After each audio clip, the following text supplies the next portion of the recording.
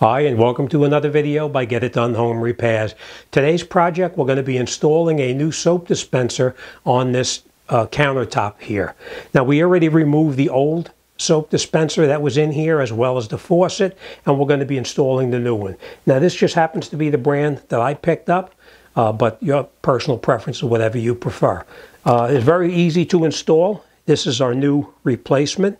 We have a seal like this and this seal has got to be on top of the counter itself so that way water doesn't get down underneath the countertop itself and, and drip inside your cabinet. This is the nut that's going to be screwing onto the bottom just like this.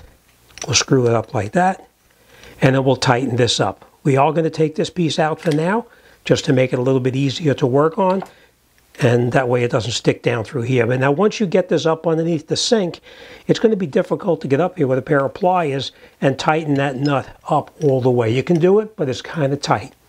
So what we have to do that is it's called a, uh, a basin wrench, and this goes around the nut like this, and then we would just turn it and tighten it up as needed. It seems pretty easy. It's a little awkward to work with because this, flap, this flaps around when you're underneath there, but that's the way we're going to do it.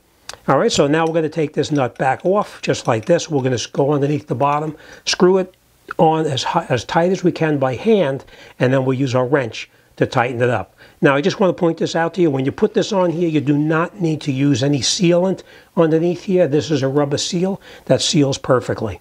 All right, so we're going to take this, put it down through here. We're going to center it in the hole approximately, and now we'll go underneath the bottom, and we're going to screw the nut on as tight as we can by hand. Okay, now this is what it looks like underneath the bottom, just like that. It's very difficult to film it, obviously. But we're going to take this, and we're going to screw this on. We're going to have our assistant hold it up on top so that it doesn't rotate, and we'll screw it down by hand as far as we can. So let me do that.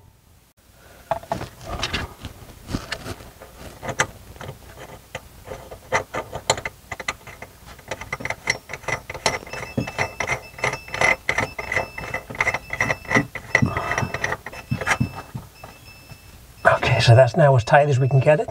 Let's grab our wrench and we'll snug it down.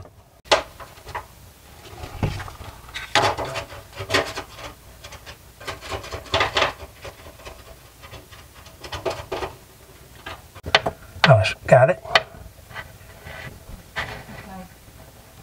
All right, now it's tight by hand. I got to do it with the tool.